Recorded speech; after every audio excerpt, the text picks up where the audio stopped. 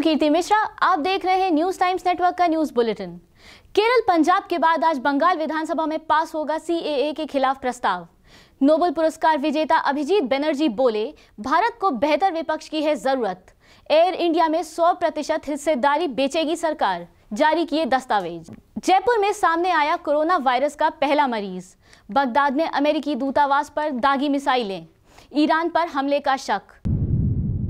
केरल पंजाब के बाद आज बंगाल विधानसभा में पास होगा सीएए के खिलाफ प्रस्ताव।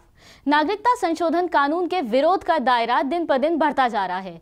केरल, पंजाब और राजस्थान के बाद अब पश्चिम बंगाल की विधानसभा में सीएए के खिलाफ प्रस्ताव पेश किया जाएगा। मुख्यमंत्री ममता बनर्जी की पार्टी, तृणमूल कांग्रेस पार्टी, आज सदन में प्रस्ताव लाएगी। ममता सरकार की ओर से लाए जा रहे इस प्रस्ताव का लेफ़्ट और कांग्रेस दोनों ही समर्थन कर रही हैं। इसके साथ ही बंगाल सरकार इस मामले पर भी सुप्रीम कोर्ट जाएगी। हालाँकि भारतीय जनता पार्टी इस प्रस्ताव का विरोध कर रही है। नोबेल पुरस्कार विजेता अभिजीत बनर्जी बोले, भारत को बेहतर विपक्ष की ज़रूरत।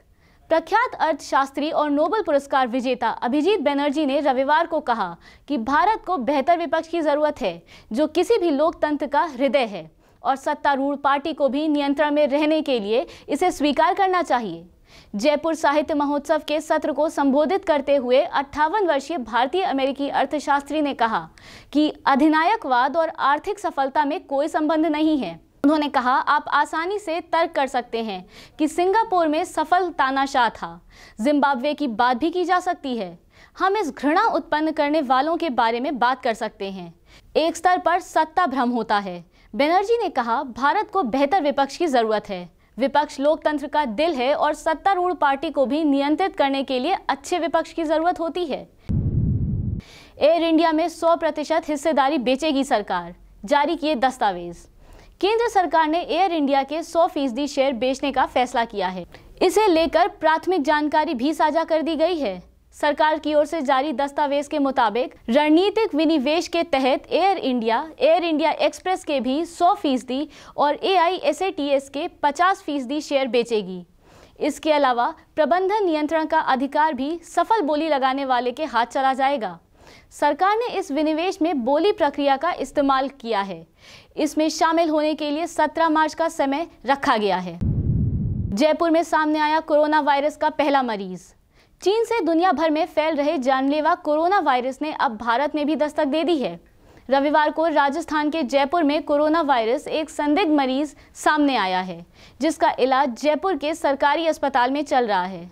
बताया जा रहा है कि चीन में एमबीबीएस की पढ़ाई करके लौटे छात्र में कोरोना वायरस के लक्षण देखने को मिल रहे हैं, जिसके बाद उसे अस्पताल में भर्ती कराया गया।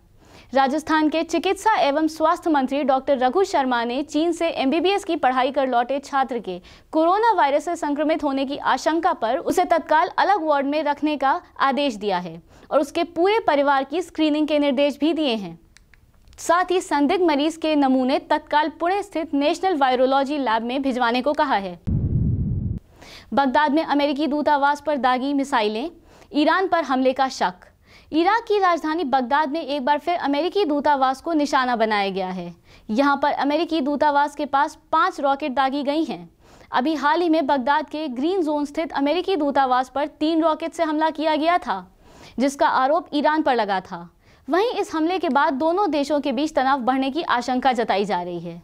बाकी की खबरों के लिए देखते रहिए न्यूज़ टाइम्स नेटवर्क।